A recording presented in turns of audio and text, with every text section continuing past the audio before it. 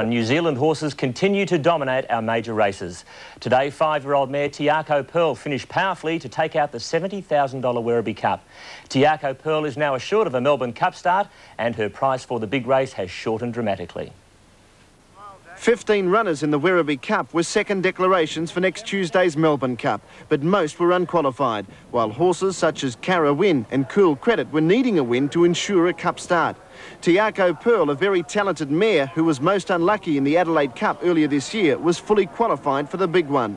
Today's 2600 metre race was run at a farcical pace early and it developed into a sprint home. The David Hayes trained Regimental Arms sprinted to the lead before the turn and looked all over a winner. Inside the 150 though, Regimental Arms three in front. Tiako Pearl finishing very strongly with moods. Regimental Arms is stopping. Flying Tiako Pearl the outside. She lands, she won.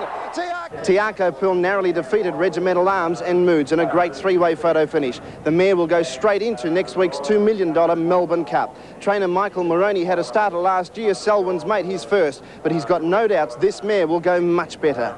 She's a chance because she's going to see the trip out. She's proven at the trip, which is you know, it's got to be a bit of a plus in that race. Uh, she's peaking at the right time, so uh, she, I don't know if you've got to have a, a hell of a lot of class to win a Melbourne Cup, but you've got to be able to stay, and I think she'll do that.